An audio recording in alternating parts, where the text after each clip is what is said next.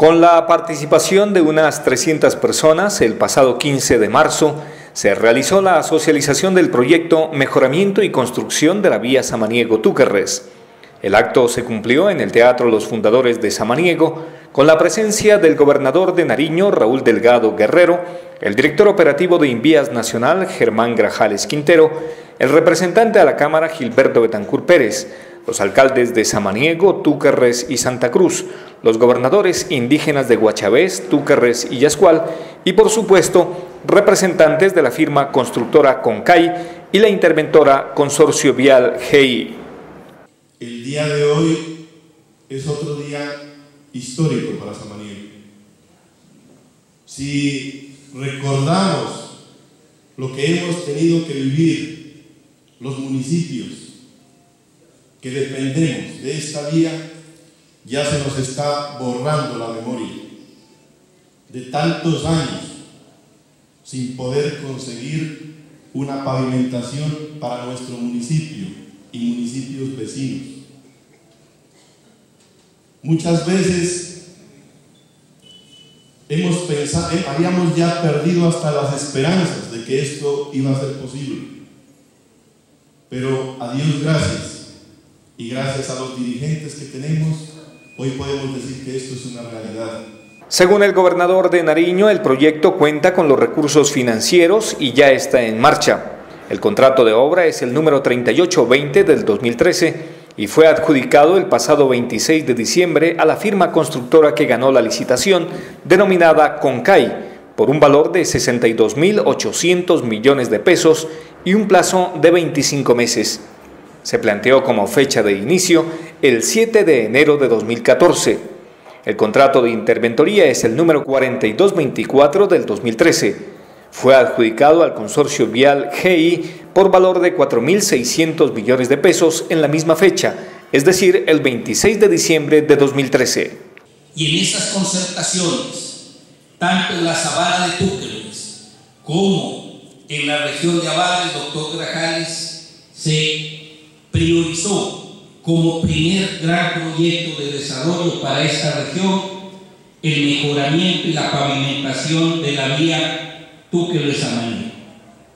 Esa fue la primera gran prioridad y por lo tanto fue el primer gran compromiso que adquirimos no solo con Samaniego, sino con esta subregión.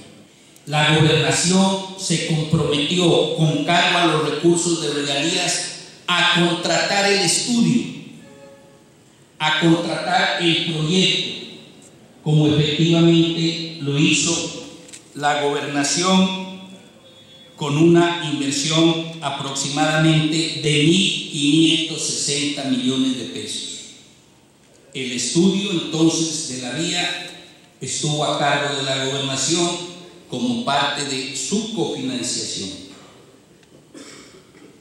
Y la ejecución se acordó que la haría la contrataría Indías, la contrataría desde el puente Divino Niño hasta Túqueres, porque el sector de la avenida Chumaje hasta el Divino Niño también se hace con cargo a los recursos del departamento como parte de su contrapartida, con una inversión para ese sector de 2.650 millones de pesos. Por parte de la firma interventora, el ingeniero Oscar Álvarez dio a conocer las especificaciones técnicas de la obra. La vía tiene una topografía muy diversa. Pasamos de los 3.000 metros en Túquerres a los 1.700 acá en el municipio de Samaniego. Aquí estamos mirando más o menos eh, las especificaciones geométricas y el estado actual con el que se encuentra la vía. Como se pueden dar cuenta, eh, todo su corredor está en condiciones eh, medias o malas, incluso con los diseños, no voy a entrar mucho a conceptos, pero en las vías hay unas definiciones de la calidad de la vía, que se lo designa con letras y va desde la A hasta la F siendo la A la vía de mejores condiciones y la F de peores condiciones. Actualmente la consultoría habla de que esta vía está en, un nivel D. Con las adecuaciones y el proyecto que actualmente se va a conseguir, eh, se la lograría pasar a un nivel B. con lo cual todos se pueden dar cuenta que las condiciones mejoran eh, muchísimo, ¿no? Con el fin de favorecer a las comunidades locales, urbanas, rurales e indígenas, las autoridades territoriales, tanto de la gobernación como del municipio y los cabildos indígenas, solicitaron a la firma constructora vincular mano de obra no calificada y también calificada de la región. Es clave que hoy quede claro que la mano de obra no calificada y alguna calificada que exista se contratará acá en la región con de San Miguel, con gente de Santa Cruz, con gente de Túqueres. Obvio, gente responsable, gente seria.